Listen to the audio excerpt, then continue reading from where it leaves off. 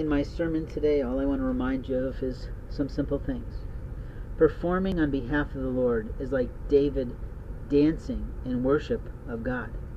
You see, in order to perform for God, you have to be willing to love, honor, and worship the Lord. When you worship yourself, when you don't provide yourself a place to be, you've ruined yourself. In America, we have rights, and people who ruin America want to take away your rights, take away your trophy, take away your treasure every day. And they don't care who they hurt.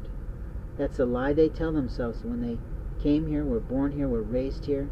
It's a lie they tell themselves every day.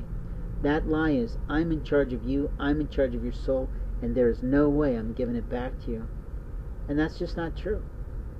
Heavenly Father, Divine Mother, Lord Odin, Lord Jesus, whatever you call that divine architect in the sky, in the heavens that we usually refer to, is looking down on you saying, Why? Why do you think you're me? Why do you think you have the right to be me? Why do you think you have the right to control me? Why do you think I've given you COVID? It's to remind you of your mortality rate, to my, remind your people of how easy it is for me to kill you. You just don't get it. You don't want to play. You don't want to hear. You don't want to see. You don't want to experience the house of God today. You're just that arrogant as a human race. It doesn't matter what country you live in. It doesn't matter what nation you come from. It doesn't matter what your languages are.